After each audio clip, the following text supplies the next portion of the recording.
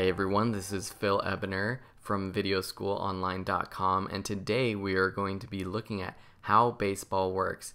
And this is part of a complete course diving into how to watch baseball and how to become a fan of baseball and everything you need to know about how baseball works. But this is just a quick overview and it might get a little crazy, but let's get straight to it. Okay, so the basic premise of the game is that you have two teams that each have nine players, and whoever scores the most runs wins. So runs are like points. How is it set up? Well, the defense plays out in the field, and they are situated in the field like so. Now they can move around a little bit, but this is basically where they stand.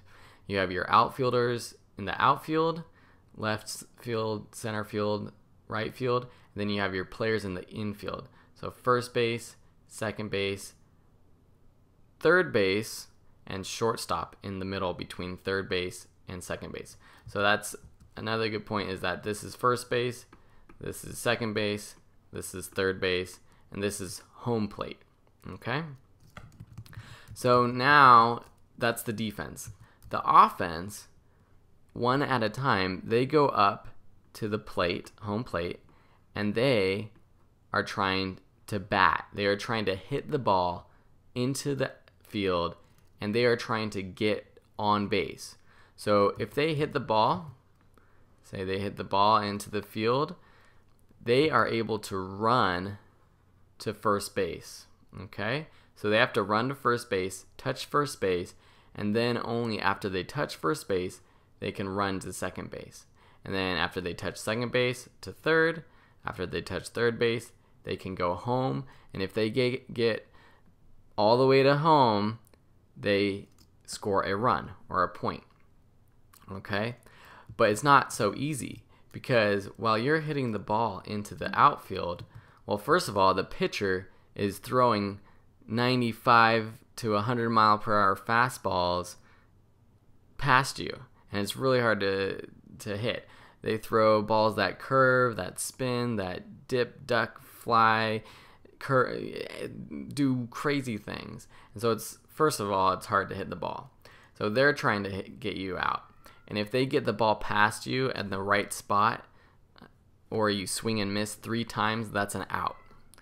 But say you do hit it in the outfield, the players are trying to catch the ball and then throw it to first base before you get there or to whatever base that you are going to, to and they're trying to get the ball there before you. So either they get the ball to the base before you or they tag you with the ball. So if they have the ball in their glove or in their hand, they can tag you with it and you are out. Now there's lots of different rules uh, that go into this and there's different ways of getting people out and it's not always the case that they just have to get the ball to the base before you and then there will be be an out. But that's going into too much detail for this quick overview.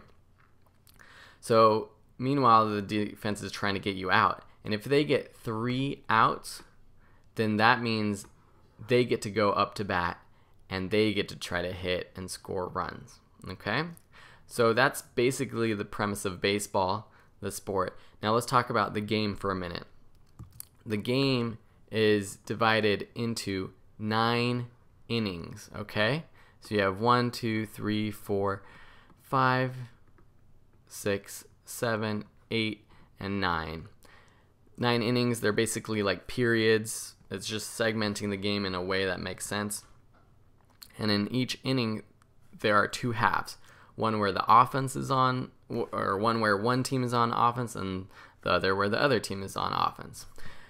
It changes from one inning, to, one half inning to the next half inning when one team, the team that's on defense, gets three outs. Okay? And until they get three outs, your team can bat and get on base, get hits, and score runs. At the end of the game, the score is tallied and whoever has more runs wins the game. If the game is tied after nine innings, you keep playing until whoever scores more at the end of a full inning wins. Okay, now for those of you who know baseball, you know there's a lot more rules that basically erase everything I just said, or there are addendums and different situations that change everything. But this is the basics of baseball. I hope you enjoyed this chalkboard lesson. If you want more of this and you want to dive deeper into the sport of baseball, continue watching my free lessons and please check out the full course. You can find out more on the YouTube channel. You can find it out more on videoschoolonline.com or my Udemy profile page. Thanks a lot, and we'll see you in the next lesson. Bye.